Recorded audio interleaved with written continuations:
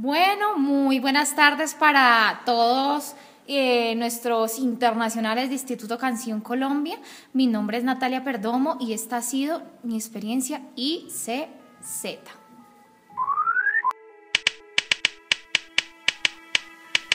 Bueno, yo conocí Instituto Canción en noviembre del 2012 a través de una hermanita de la iglesia, de una amiga cristiana también que pues ella no nos veíamos hace mucho tiempo con ella, hace como cinco años, un día con mi madre nos dio por ir a visitarla en ese entonces y entonces ella me escuchó cantar, yo le canté una partecita de una canción, de una alabanza y ella lo único que dijo, con la niña están perdiendo tiempo.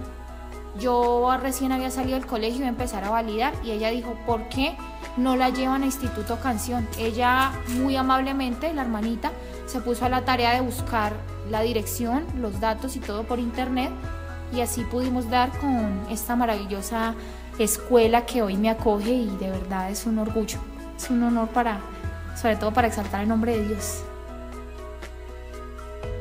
Para mí fue un reto eh, entrar a una escuela, obviamente ser la única limitada visual. Aquí en ICZ es un reto, pero la escuela me ha ayudado muchísimo, los compañeros me quieren, me aprecian. Para mí el trabajo en equipo siempre fue muy bueno. Eh, un profesor que está aquí en Canción y fue mi maestro de piano durante cuatro semestres, profesor Edwin Rincón. Eh, la educación que él aportó hacia mí, hacia mi vida, hacia mi futuro, eh, fue más que una conversación como la tuviera en, el colegio donde yo estaba, o sea, profesor y alumna, fue como una amistad, un acercamiento, me ayudó mucho, la hacíamos un buen equipo y para mí, aprender a tocar el piano en dos años, un reto enorme, pero gracias a Dios lo logré, lo logré. La clave para llegar a conseguir mi sueño ha sido de constancia, de perseverancia, de luchas como, les he venido diciendo a todos ustedes.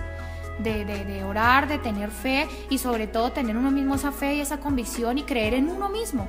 O sea, creer que uno mismo sí puede lograr a pesar de los problemas, a pesar de, a pesar de las adversidades, a pesar del pero, uno mismo puede lograr lo que se propone con disciplina, constancia, perseverancia, pero sobre todo con Dios por delante. Sin Dios nada podemos hacer, dice su palabra.